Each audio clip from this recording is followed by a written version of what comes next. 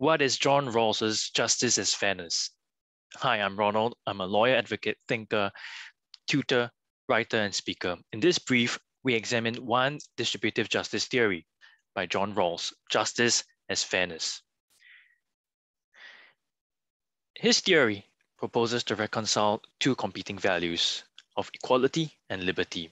The first main problem is that individuals inevitably conflict when exercising their respective freedoms. The other main problem is that in reality, humanity is plagued with inequalities of the human condition and resources. Equality is in theory a good thing, but to what extent? Strict equality would require every individual to have the exact same resources, but that would be inconsistent with the principle of liberty. John Rawls's theory therefore attempts to address these problems. His theory is a social contract theory, which may be summed up in two principles. Each person is to have an equal right to a fully adequate scheme of equal basic liberties consistent with a similar scheme of liberties for others. And second, that social economic inequalities are permissible only if they satisfy two conditions. First, that inequalities are attached to offices and positions open to all under conditions of fair equality of opportunity. And second, they must be to the greatest benefit of the least advantaged members of society. Some key principles of this theory are first, that society is a fair system of cooperation. Second, the basic assumption that individuals are free and equal. Third, there must be a well-ordered society.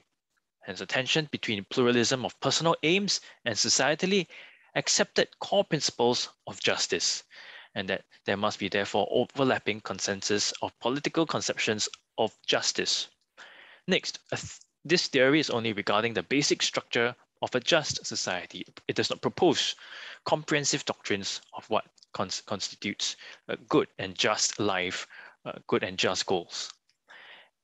This one key premise of this theory is the original position, a veil of ignorance, a sort of a thought experiment that he uses.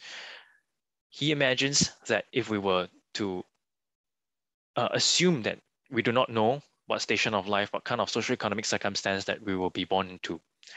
Then under this veil of ignorance, what kind of society, basic structure of society do we want to have? And finally, John Rawls emphasizes public justification, a process of engagement as opposed to engagement with regard to uh, fixed substantive outcomes to be advocated. And that is John Rawls's justice as fairness. Be smart, be brief.